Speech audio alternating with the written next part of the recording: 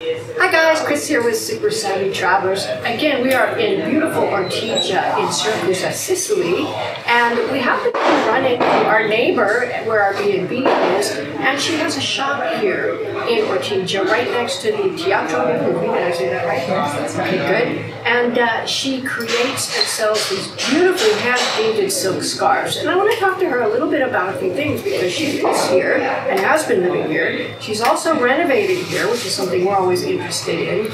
And she's an artisan and a craftsperson. And ladies and gentlemen, this is Liz Atkinson. And what's the name of your shop? Um, well, it's not a shop really, it's more of a studio atelier. But um, my uh, work, I had decided, my uh, work, I had decided to put drawn on silk. Because in the past I had this idea to, to I like drawing so much and I wanted to actually do designs and drawings on silk. So the painting came afterwards. A friend of mine who I used to work with um, in the school near Roma here, it's an American school that's not there anymore. Um, she taught me how to do the silk painting. Wow, wow. So you learned it while you're here? Yes, yes. Very cool. About 15 years ago. Okay. And how long have you been here?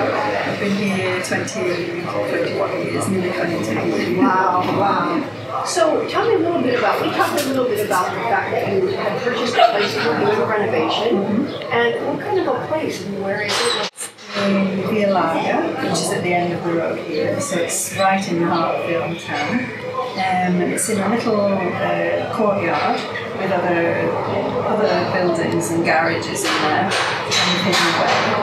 And it's just a long, uh, straight, you know, um, single floor building with a terrace. You can't just have a view, but it's uh, very nice to have a terrace when, you know, especially in the winter here, when the sun's strong and, you know, it's actually warmer on the terrace than in the house. You went into a little bit started. I've been here in this street for about four years. Before that, I used to do small exhibitions in the street or, you know, little galleries here in Ortigia would invite us to do exhibitions. The, the shop here has been open for about four years. Um, and I just decided to stop doing full-time teaching. I still teach sometimes, and yeah, especially uh, from sort of uh, March onwards.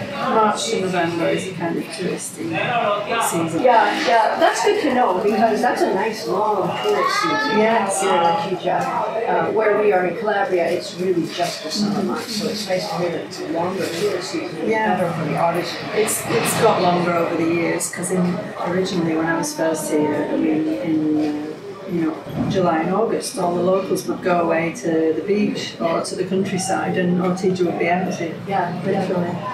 Yeah. I hadn't really heard much about Ortigia. Of course, I've heard about Siracusa, but then when I um, last or before COVID hit, I was trying to set up a tour uh, of Sicily, and of course, I started looking at Ortigia, going, "Oh my goodness, it's so beautiful!" And look at all the things it has to offer. So when we got so there, much to see. Yeah, I can, you can, I can still go around and see things I've not seen after 20 years. Yeah, exactly. Okay. Well, would you like to show us a little bit on, on how you do these Absolutely, yes, of course. Okay, so tell me about your workstation and uh, your equipment and, and how this all comes together. Well, usually I just draw directly onto the silk with uh, Gutta, which is this, it's a, a French-based product for, for silk. And I actually just draw the image that I want from, from either from sketches or from my head. I, I don't draw it on the silk first of all. Um, sometimes I'll use charcoal, so I'll charcoal draw, if I want to be more accurate, I'll draw what I want to do Mm-hmm. and then you leave that to dry. And then it's basically like watercolor. You have different washes of the of the. This is sort of really concentrated, so you mix it with water, Oh, okay. and it's similar to watercolor technique. You've got to kind of once it's on, it's on. You've got, You can't sort of change it like you would with oil. yeah. Um, so it's like base, basically a series of washes. Or if you want stronger colour, you just paint directly on the silk with the colours. Oh my goodness. So is this like a, a masking? Yes. Okay, so it masks it, Exactly. it leaves a little white line. It does. Okay. So then the whole thing dries. When it's all dry, sometimes I leave it overnight to get a, in a more intense colour.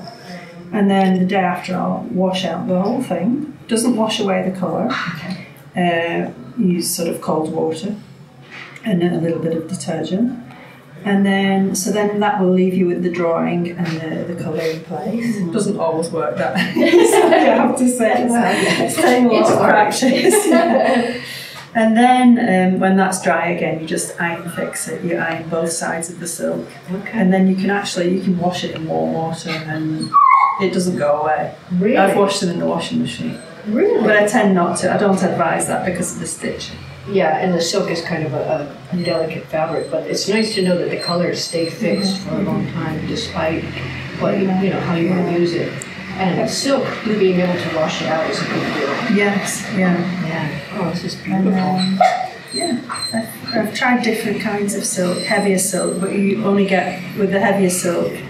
This is why people um, silk screen print um, heavier silk because you don't get both sides then. Whereas this is a, a transparent silk that's made specially for silk painting. yeah, yeah. So it's already hand rolled, the, Oh, I see. the edges. Yeah, and you buy it already hand rolled. Yeah. Just- Oh, that's Yeah. lovely. That's wonderful. Oh my gosh, this is beautiful. Okay, so this has been fascinating learning how to make these beautiful silk scarves. Going to put the address down in the details so you can come here and shop for yourselves.